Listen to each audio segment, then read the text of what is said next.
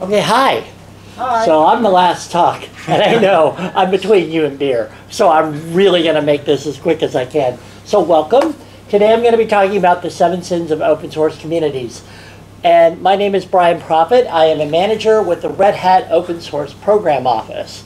And we're weird, um, and those of you who know people who I work with will understand that's a multi-level statement because we are weird.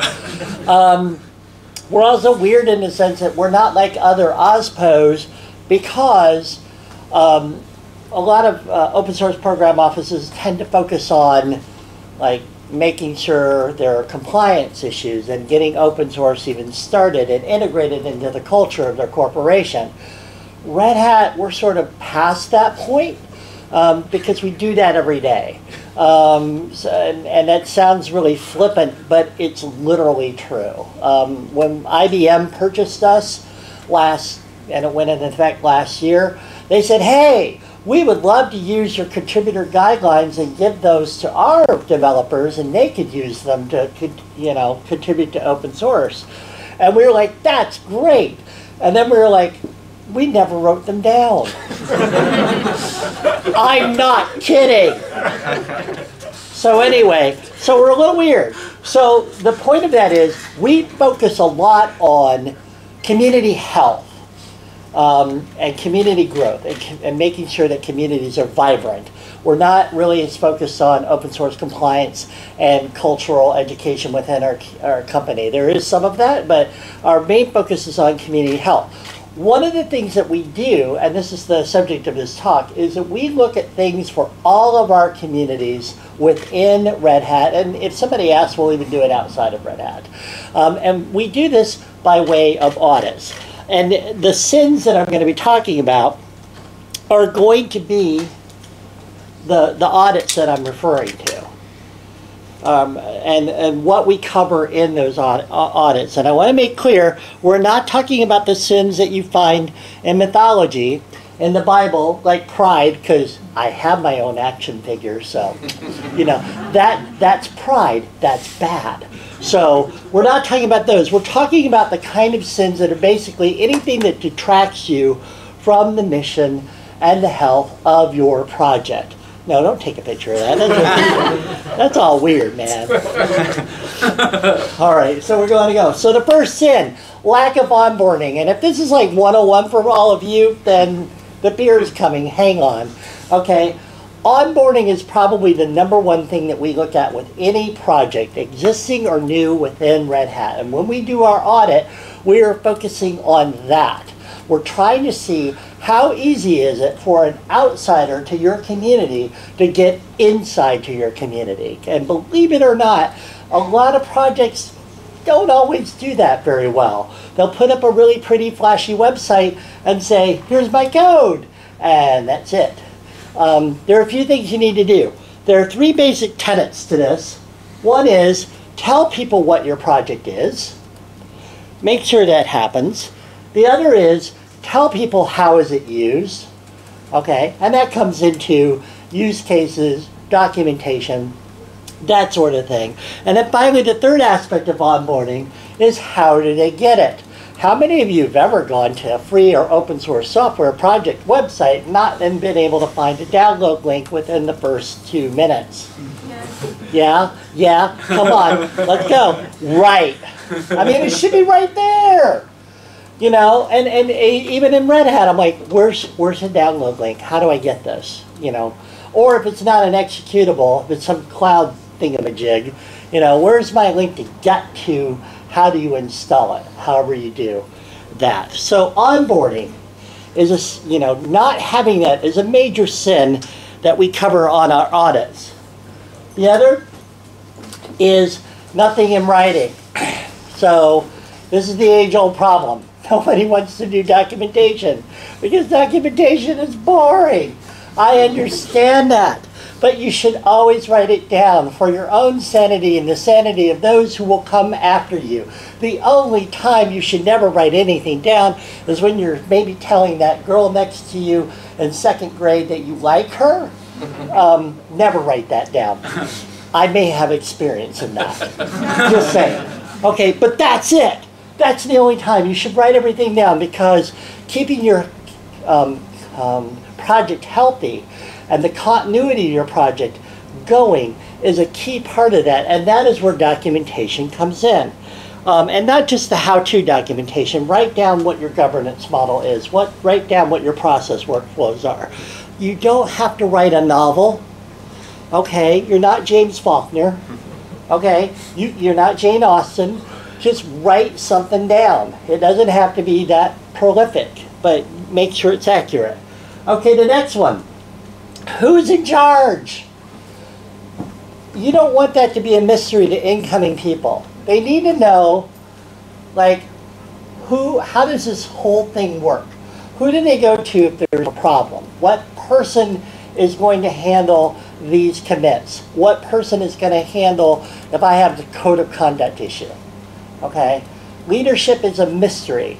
That is often hidden. Smaller projects are very guilty of this, and, and, and it's and it's kind of hard. You don't want to slap them around, but basically, they're small. They're like well, there's like 10 of us here. Uh, we don't know who's in charge.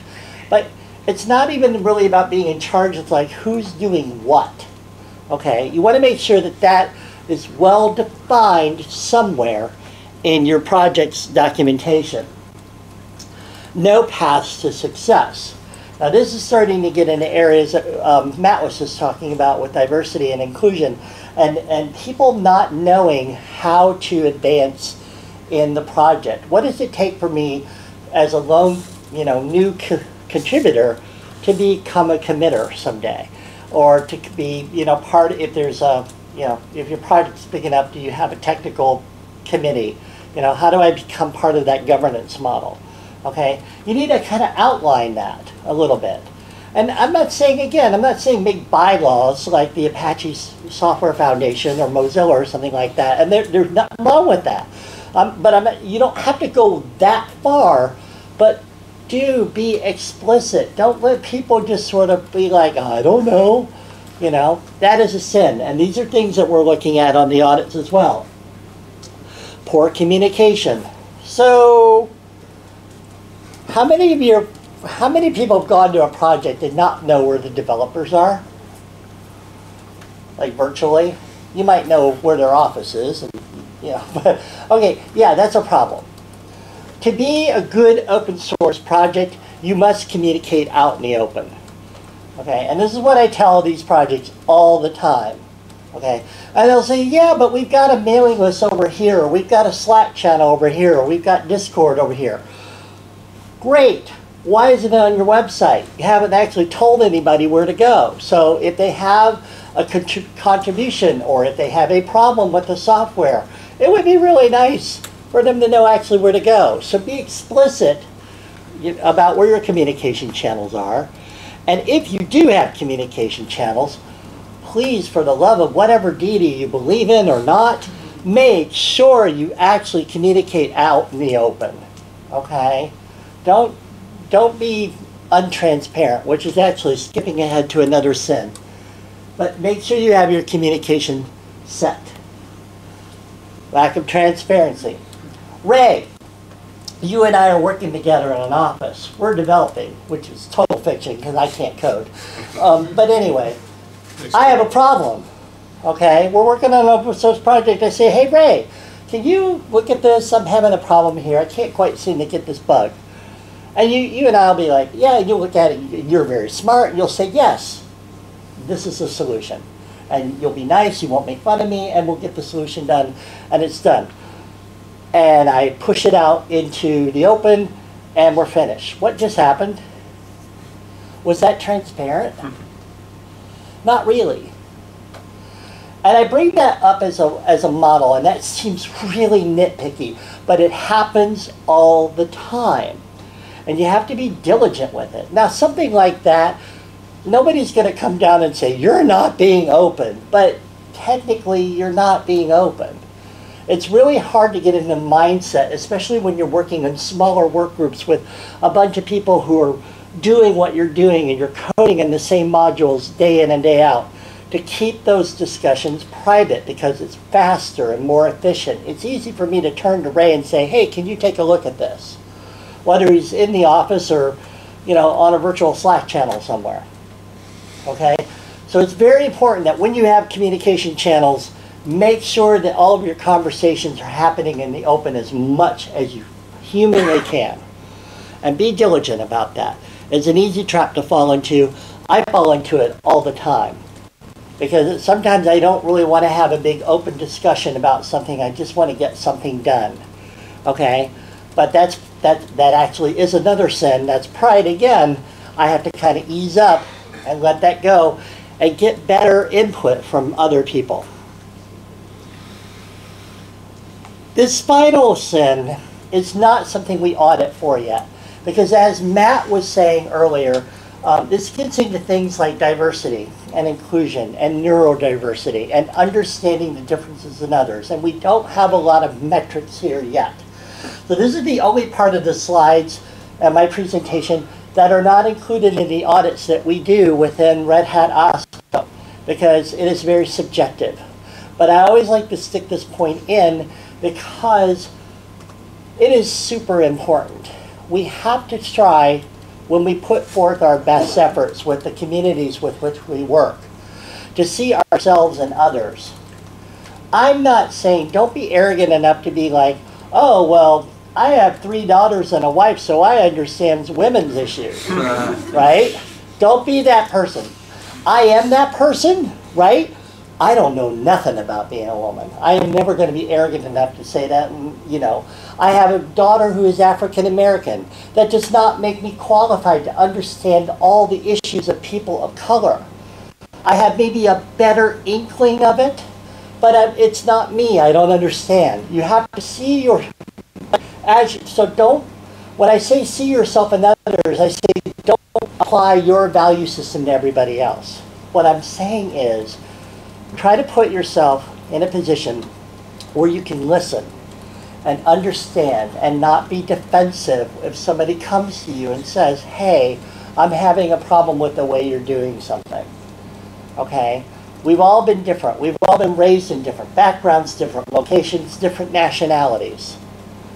Okay? That doesn't mean we can't work together and do it well. So those are the seven sins. Um, if we have any questions, if I have any more time left, happy to talk about the audits that we do um, and, and the effect that we have had with them in OSPO. So what's my time, Mr. Timekeeper? You have six minutes. Oh, I talked faster than I thought. All right, that's cool. Any questions? Yes. So you're auditing the first six points that you mentioned, right? Yes. How do you do audit for lack of transparency? So we do a lot of the lack of transparency because we're looking for instances of communications that are happening um, behind the scenes. So at Red Hat, it's a little bit easy for us because the way our model works is everything's done in the open source community, and then we're ready to we take that code, we bring it to the downstream community um, within Red Hat, and then we harden it, rebrand it, and say it's Red Hat, whatever. By the way, the secret to our whole branding scheme is we never come up with names for our products. We just say, oh, it's a virtualization product. It's Red Hat virtualization. You know, no, you, you go back and look at our catalog. You, you'll see I'm right. But anyway, what I'm trying to do there, what we're looking for is we don't want the developers who I know are working on the downstream to like having conversations on the in, internal lists about the upstream projects. So for me, it's a little easy because I know where they're all working. So if I see conversations about the upstream project in a downstream list or channel, we're going to have a conversation. And we're going to say, you know, y'all get up there and, and, and do it in the upstream. And it happens occasionally because, again, nobody's being malicious. It's just easy to do.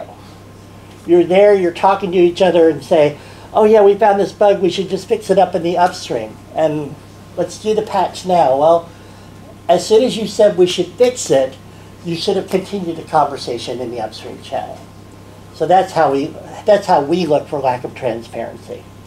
So yeah, yes, Justin. I'm curious what you think about diversity related events or activities at open source conferences as a way of measuring not seeing ourselves in others. To give maybe a little bit of context to that, some things that we've trialed in some of like the Fedora community and other communities are things like speaking a native language hour and doing things like a candy swap where we have these experiences to get to know people in our community that aren't in a technology context. Something that I've been thinking about, but I was curious what you think.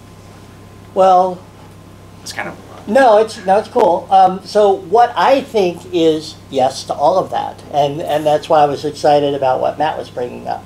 The thing is, OSPO is not necessarily focused on things at the event level because we have an outstanding events team at Red Hat that is helping us with that. And I know Fedora is a little bit um, different, but uh, Fedora is large enough and mature enough that they handle their own events themselves, and OSPO doesn't take away from that. So I'm not trying to dodge the question. It's mostly that we really don't focus on the event level, other than to say yes, we need a code of conduct, and yes, we need to you know have diversity and inclusion. But we're not using that as a marker for individual projects yet because most of the projects, Fedora notwithstanding, don't aren't big enough to have their own events yet. I mean, you're talking Fedora, you're talking CentOS, which is having one down the street right now, and oVirt used to, and RDO, but that's part of OpenStack. So it's not really a thing that we worry about because it doesn't really happen very often. So, but in spirit and everything and everything else, I totally agree with all those efforts, and I think they're, they're important. A question in the middle, yes. What is your audit approach like? So do you audit project repeatedly? Do you, as an audit something where you come in, I'm, when you say audit, my, my mental model here is financial auditors who come in and have an office for a week. Okay, so at the beginning of every year, there are projects that OSPO are directly responsible for. They're on my list, and then I put out a blanket all call for any other community because some of the communities in Red Hat are managed by the business units, like Ansible. They're not part of OSPO. They we bought them. They came in. They have their own community structure there. But I will say, hey, do you want to you want to do this? And if they say yes, I'll schedule it. And then the actual physical process is I have a long checklist um, that I that puts this out in a much more robust form, um, and and we just go through it. Uh, we score on individual points. Some of it is based on things that we found already working with CHAOSS. Some of it are things that we built ourselves, and then we put that all together and give them a report. And it looks like I'm done. Yes, thank I you am. very much. You get my hat. You get your hat. Uh, thank you.